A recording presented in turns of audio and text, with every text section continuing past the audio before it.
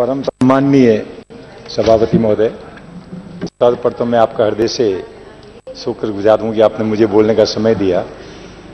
मैं नागौर, राजस्थान से हूँ और नागौर की एक विशेष बहुत बड़ी समस्या है, उसके बारे में आपसे निवेदन करना चाहता था। ये जिला पूरा जिसमें 32 लाख जनसंख्या है, नागौर शहर की 1.4 लाख पॉपुलेशन है। आज़ादी के बाद में आज तक वहाँ इतने सैनिक हर घर में एक सैनिक मिल जाएगा। इसके बावजूद भी केंद्रीय विद्यालय नहीं खुल पाया। अब एक साल से केंद्रीय विद्यालय के लिए सिद्धांत सेंट्रल गवर्नमेंट ने स्वीकृति दी है। The government of Rajasthan has given the allotted the 15 एकड़ land for this central school but still ये अभी भी क्रियान्वित में नहीं आया है।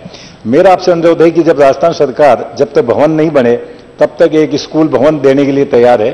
और बाकी सारी सुविधाएँ हैं बच्चे तैयार हैं।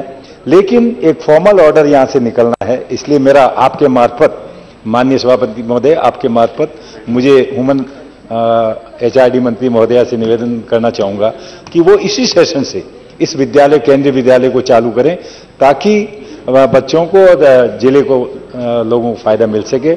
मैं इतना ही धन्यवाद आपको।